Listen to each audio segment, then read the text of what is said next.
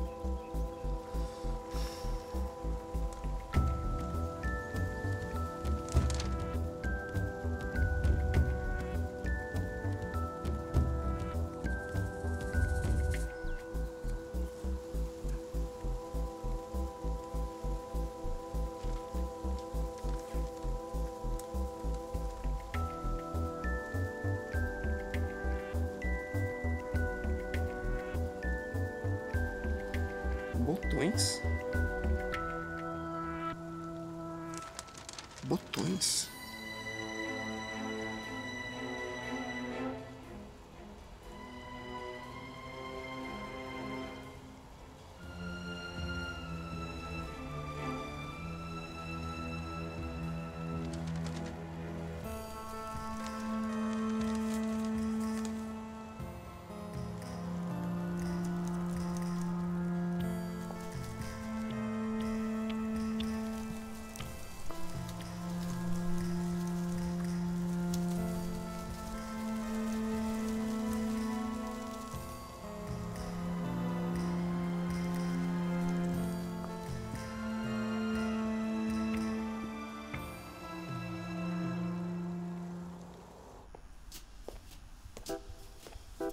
Aí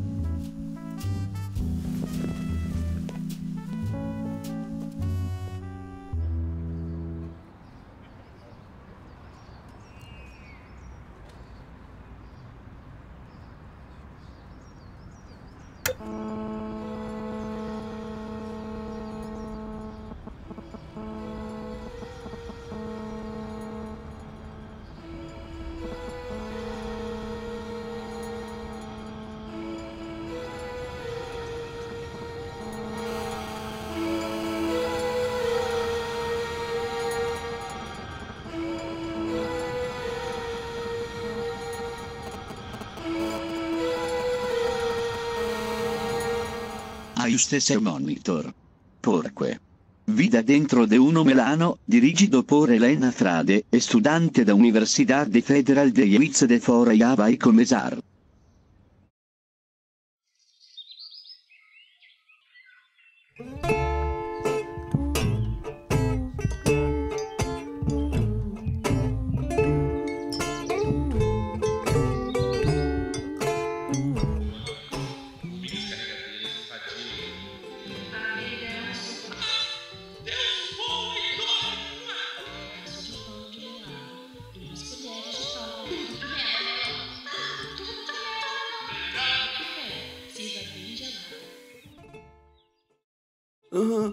Vovô, aham, pode ser.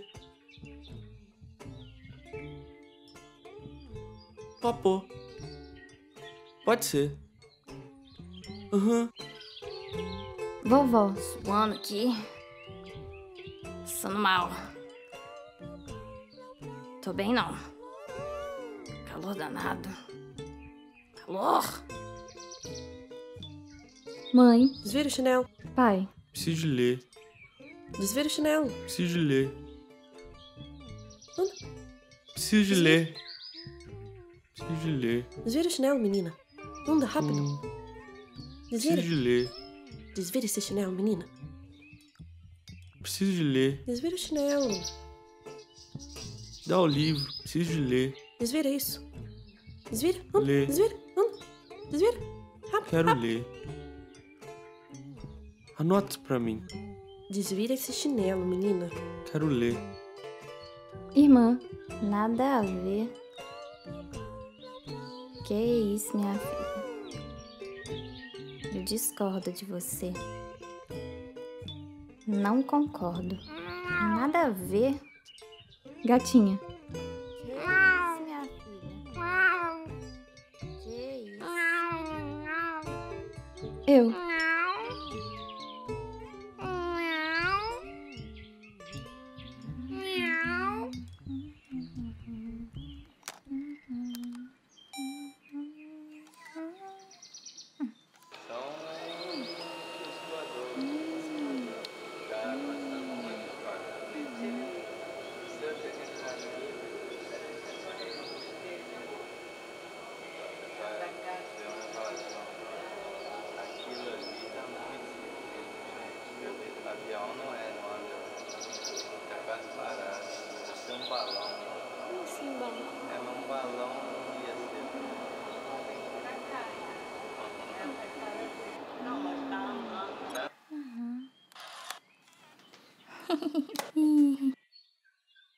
os dias eram mais ou menos assim. Dentro de um melãozinho vivem meus avós, senhor e senhora passarinho. Vieram de um lugar nem tão legal, nem tão distante, um pouco estreito, um pouco frio, para habitarem o aconchego da floresta tropical. Por isso, todos os dias de manhã, ele, professor senhor passarinho passarinho, acorda, toma seu suquinho com acerola e hortelã. Os pássaros gostam de suco e de acerola e de hortelã. E começa a trabalhar.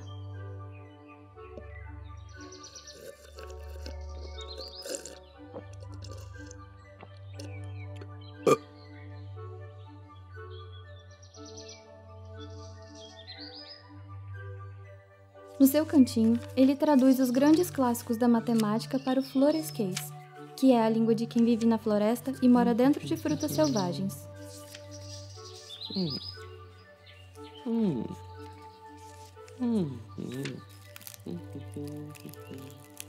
Vovô não anda. É uma árvore enraizada numa cadeira.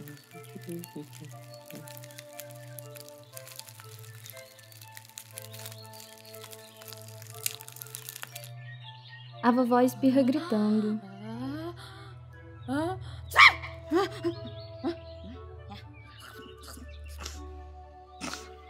faz bordado.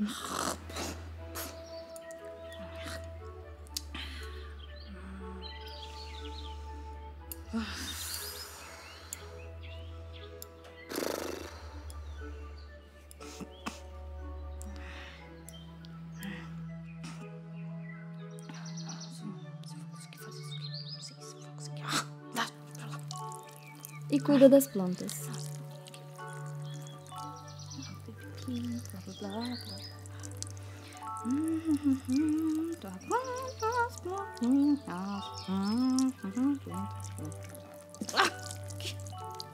Todas as plantas.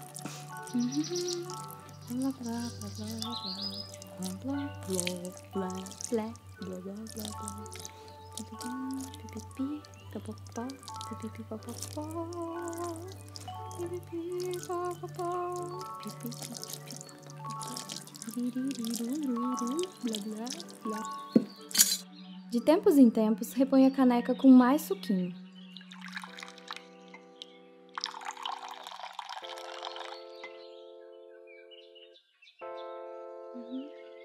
E dá umas bitocas no seu querido.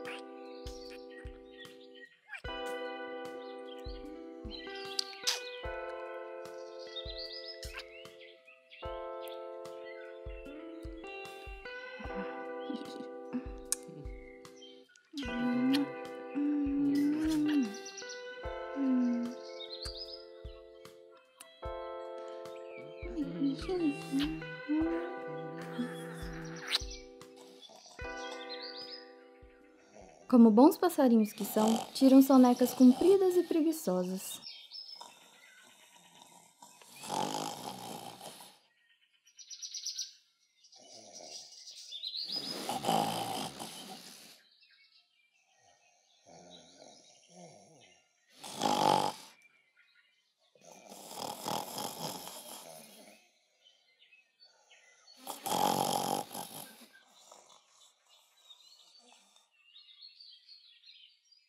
Aham, papô.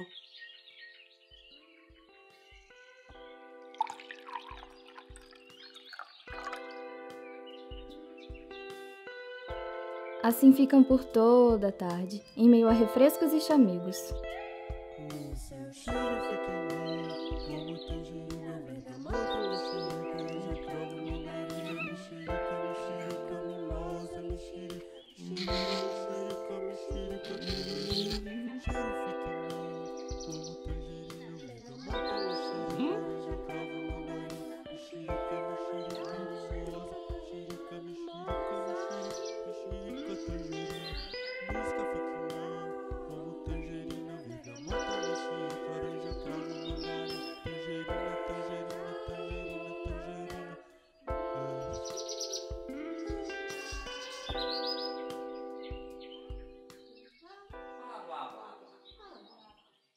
E quando o sol se põe e todas as frutinhas se fecham, é o momento em que o senhor e a senhora passarinho se encontram na companhia dos demais bichinhos da família, para o habitual purê tagarela de doçuras carameladas.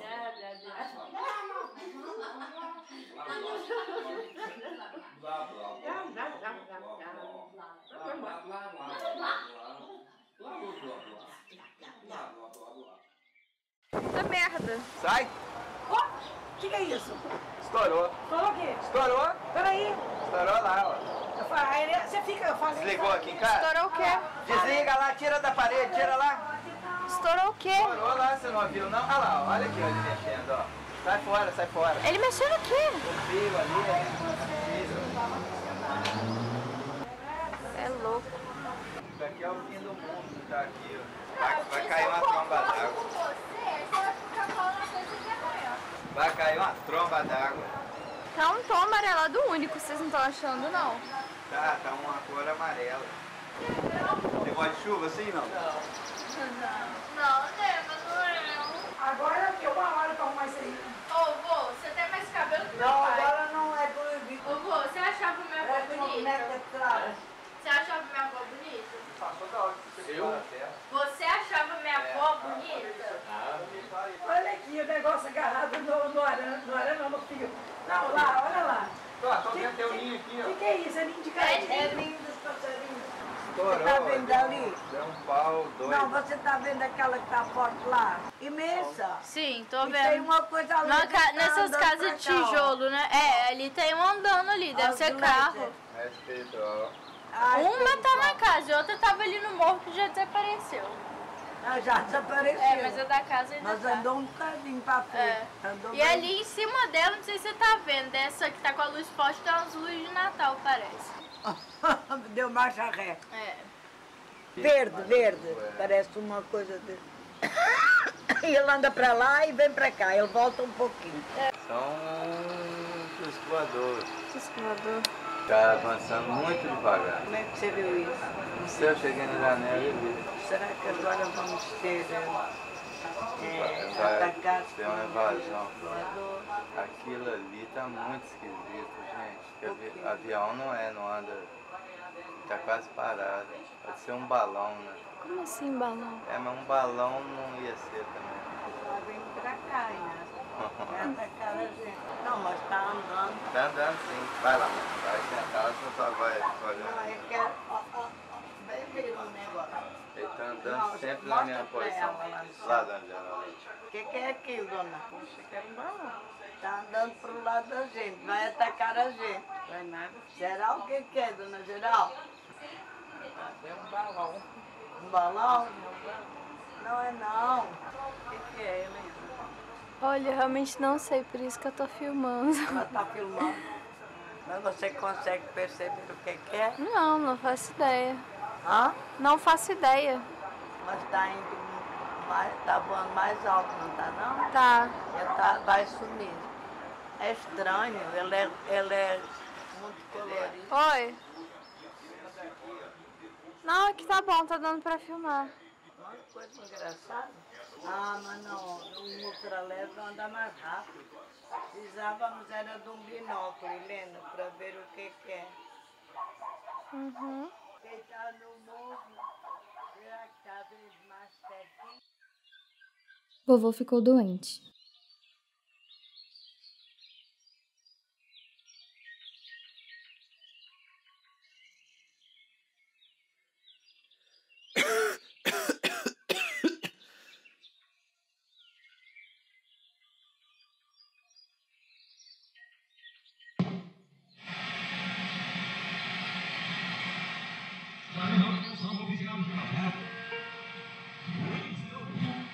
Encostando a portinha do pequeno melão casebre, vovô nos dá um amável beijinho de boa noite, antes de dormir.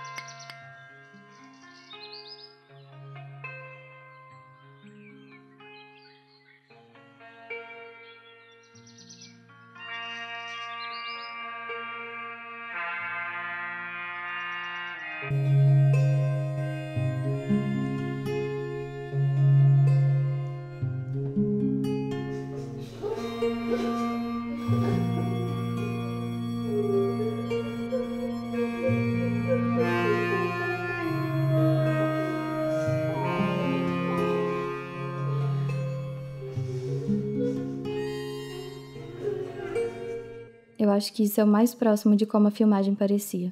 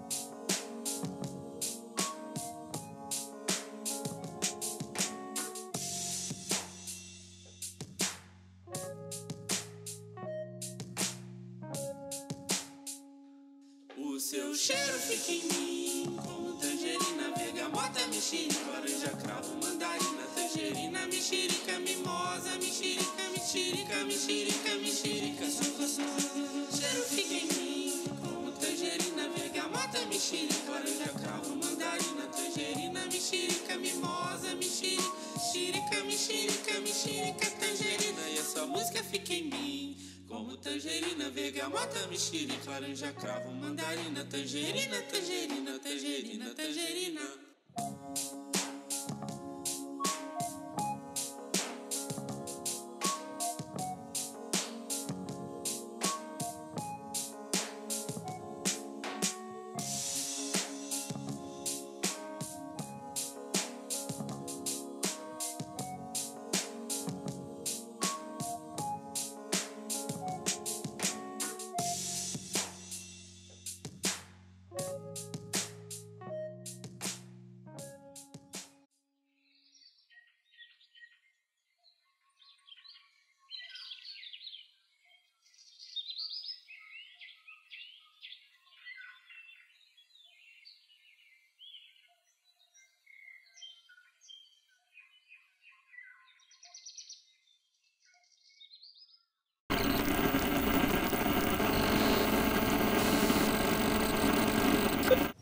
Oi, pessoal, meu nome é Helena e eu sou diretora do filme Vida Dentro de um Melão.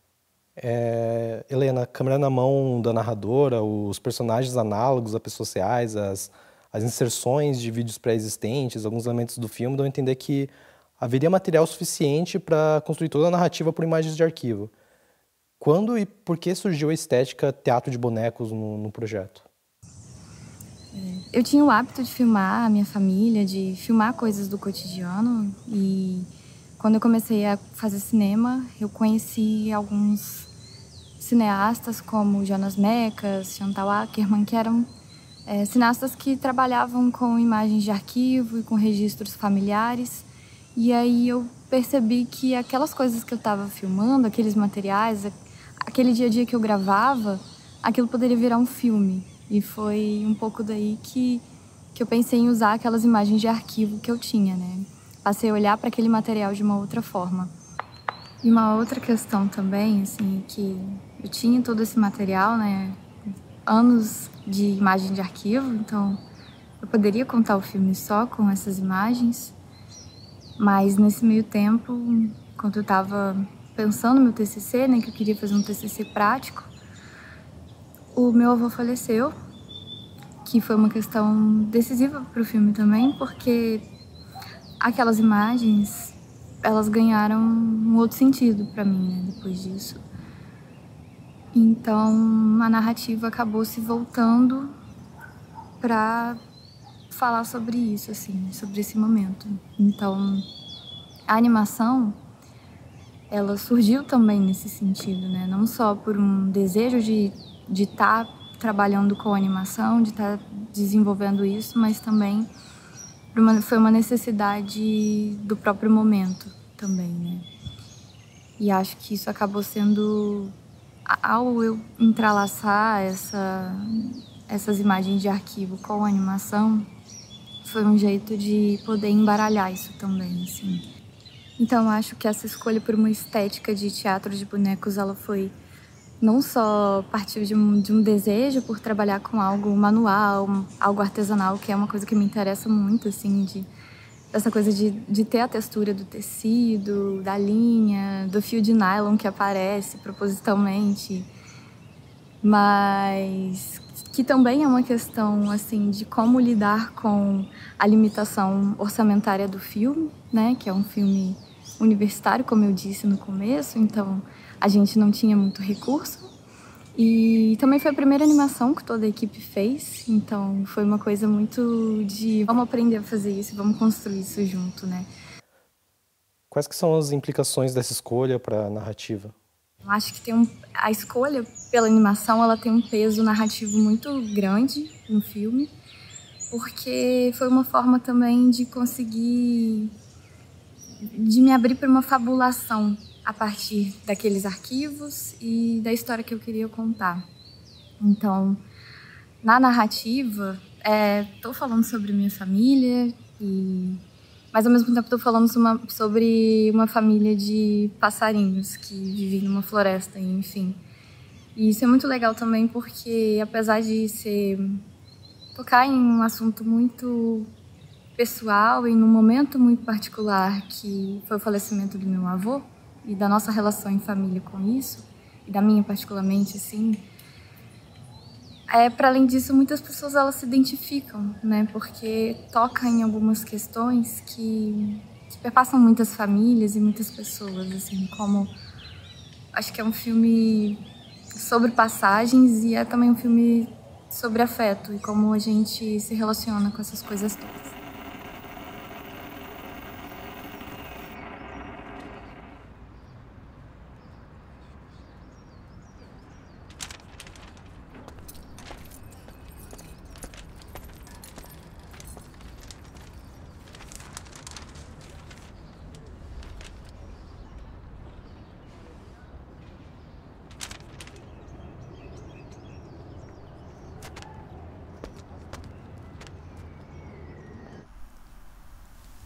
Estamos aqui com o nosso convidado super especial, o Willy. O Willy. É... E a gente vai falar sobre o Paraná Clube. É... Legal, Willy. É... O que, que você conta pra gente? O Paraná Clube é um time muito peculiar do futebol. Um time sem títulos recentes, é, sofre de quedas crônicas, com perambula por tudo. A Série D, o acesso à Série C, a Copa do Brasil é hora efeito. Sim, a solidez bem definida do cotidiano. É mesmo, Willy? Que interessante. Interessantíssimo.